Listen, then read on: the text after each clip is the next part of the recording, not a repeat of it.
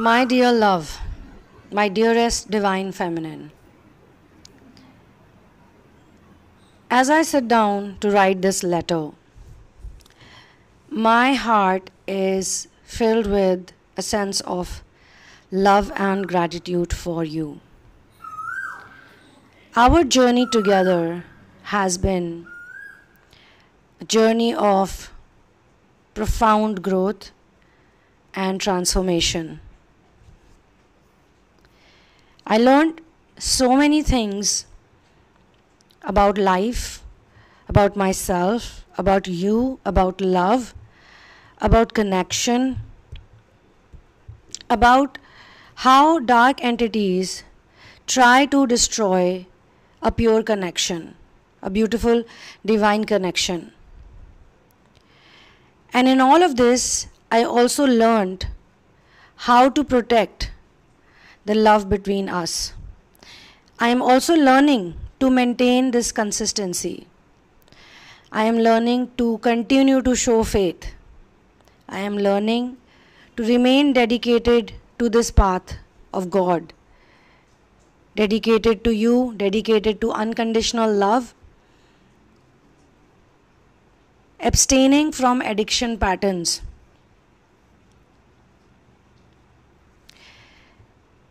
The trials and tribulations that I've gone through, followed by the triumphs, the victories, it has only strengthened my love for you and the bond we have. My dear, I want to share with you the depths, the many layers of my experience, and the many battles I had to face, I'm still facing, to protect the sacred connection that we have. Dark energy feeds on to low vibration. Dark energy feeds on to fear. And I was programmed to fear. I was programmed to believe in fear, to live in fear. In many subtle ways, since my childhood, I was taught to act in ways that actually from outside would look like I'm a strong person, but inside it was just about materialism, about superficial things. Dark energies have tried to come between us. And dark energy is not always just invisible energy or just the voice in the head. Of course, the voice in the head also comes from programming, but it can be seen in vessels, in human vessels, or other people who try to create misunderstandings. They try to break our beautiful bond. The dark energies, the entities, the people, the hardcore narcissist, the cold blooded narcissist. These dark forces manifested in various forms. They try to take me away. They try to cloud my mind with doubt, despair, anger. The voices in my head, there were so many moments when these voices, these dark shadows, they whispered into my ears. Of course, I have been in temptation. I was tempted. I was tempted to make mistakes. I was tempted to go astray. These voices tried to lure me back into the patterns of addiction and self destruction. When I started connecting with you, or when I had this beautiful time with you, I never really knew that I had attachment difficulties. I never knew that I had problem in bonding in a true connection. Anxious bonding, avoidant bonding, and sometimes I was projecting or I was reflecting the mixture of both these attachment difficulties.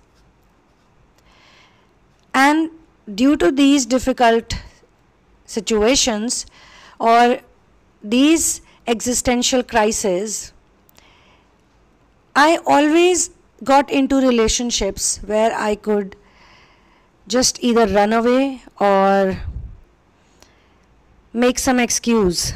But it was only in your case where I truly wanted to commit and truly wanted to work it out. And that was new for the narcissist around me because the narcissists were okay for me to be in temporary relationships, in makeshift relationships. They were even okay if I would do hookups in my house or anywhere else. Even if someone would walk up to them and tell them that your child is like this, of course, an adult child, not the child, baby child anymore. He's growing up, he's going to college, and he's doing this or he's doing that. They would never scold me. They had a problem when I actually fell in love. And that's the thing I could not deal with because I was not trained to understand what love is or what lust is. It was just my intuition that helped me to fall in love. I might have fallen in love before also, but it was never so intense. Or I did fall in love or I did like people based on the materialistic things they had because that was the only way that was the only way that was taught to me to get impressed by anyone. I was never taught to be impressed with personalities with characters. I was never taught to fall in love with people. I was only taught to love to fall in love with bodies or things wealth looks so on and so forth. And now I feel that maybe so many people around me they were doing the same things. Their emotions were based on things, not on personalities, not on bonds, not on connections. When you told me so many things, so many interesting things about ancestral energy, about healings, about releasing addiction patterns or attachment issues, working on existential crisis, or even curses for that matter. And when you talked about psychic abilities or gifts or intuition, I, I never thought it was normal stuff. I never knew that this is actually normal and what I was living, the reality that I was living in was the illusion, the illusionary experiences, I termed them or labeled them as reality. Everything I did was literally self sabotage. And one part of me was telling me always that what I feel for you is love but the other voice in my head, or the other part of me, kept telling me that you were actually just not good enough for me. The reality is that I was not good enough for you back then. I was not at your level, I was not at par with you. And maybe I still am not, I'm working on myself. So these shadows, they whispered many times into my ears taking me into the patterns and the path of addiction and self destruction, of negativity. But in those hours of darkness, or every time I realized that there was something more beyond what I knew, the truth was something else. I was thinking about you, it was your thought, it was the divine love we shared, it was the confidence you had shown in me, it was the way you cared for me, the way you gave your all to me just to make me feel happy. All of that anchored me, took me to the light. Your unwavering faith in me and your love for inner work and your love for being who you are. So many times I saw that you were so easily able to sacrifice so easily you would say, okay, fine, do what makes you happy. Maybe at that time I thought that you don't have self respect, but I realized that if you didn't have self respect, you would not have eventually made the boundaries that you did make. Maybe you were tired of my behavior, which is acceptable, not because you could not tolerate my behavior personally, but you were tired of seeing that I was able to tolerate all of the toxicity to my own self. Looking back in retrospection and looking at all the things I've been through, it was your love that gave me the strength to resist and to rise above all of this negativity. I have dedicated my life to our love and the path laid out by God. I abstain from addictions because I was not consuming those things, those substances. Actually, those substances were consuming me. I choose to embrace purity. I choose to embrace truth of our connection.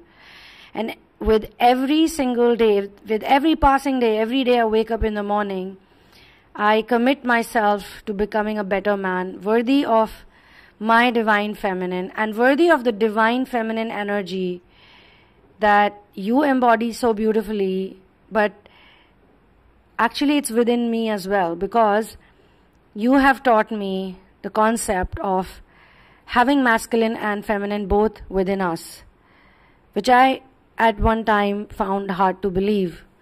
But later on, when I started doing my own research, I started studying, found out that yes, our energy body does have both divine masculine and feminine, the anima and the animus, and various other places where I read it. About chakras, I read it, that we have Ida and Pingala. I mean, how could I not believe you the joke was actually on me. I thought I was making fun of you, or my people were making fun of you.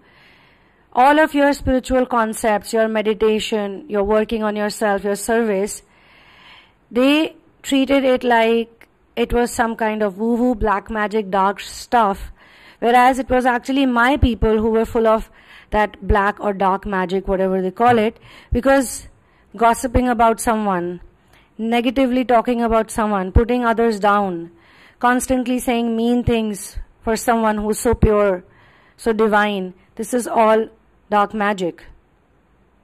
And it probably did affect us because we both lived in fear. You lived in the fear that you would lose me.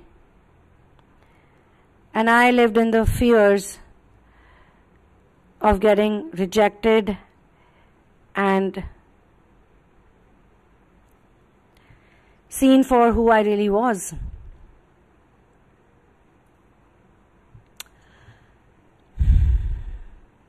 Your presence in my life is my not only ray of hope but a beacon of hope,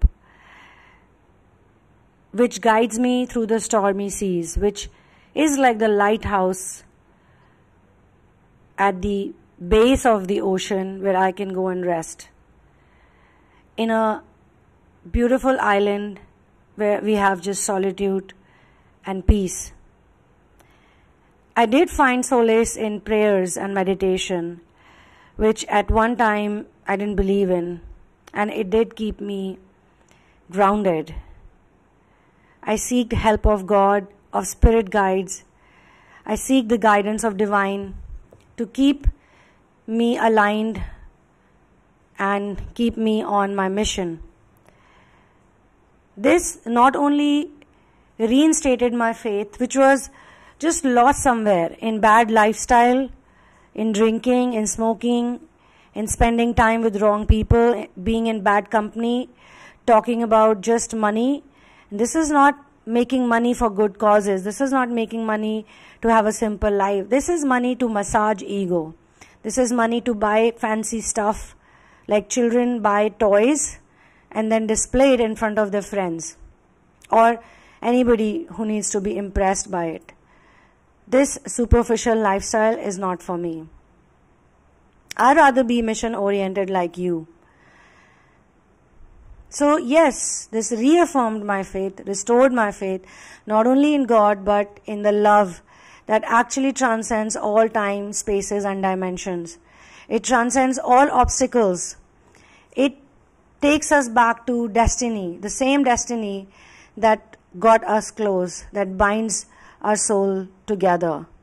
It is like that red thread that never actually allows us to disconnect, that keeps bringing us back.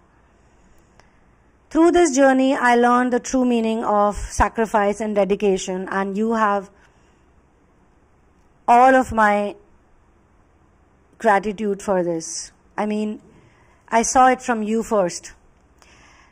I never saw anyone actually making any sacrifice for others.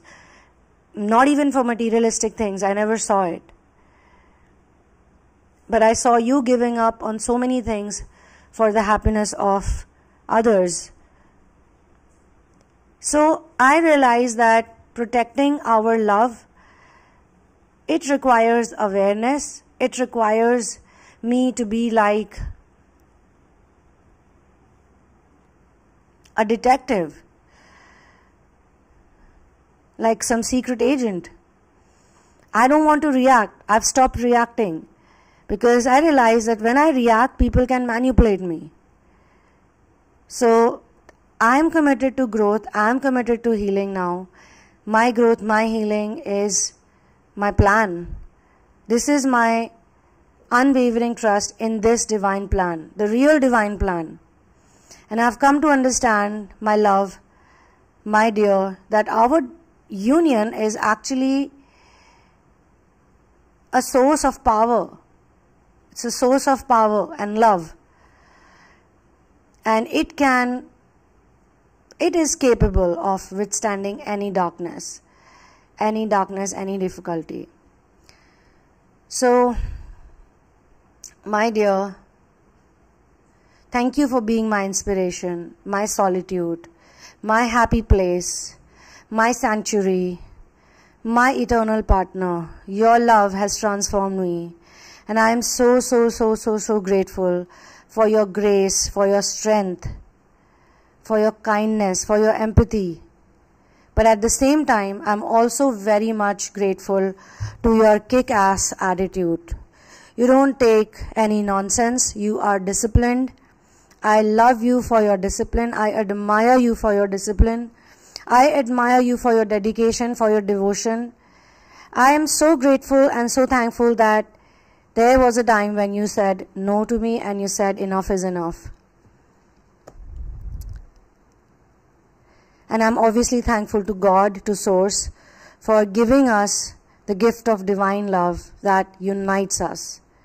With all my love and devotion, and with all my admiration for you, Yours and only yours, Divine Masculine.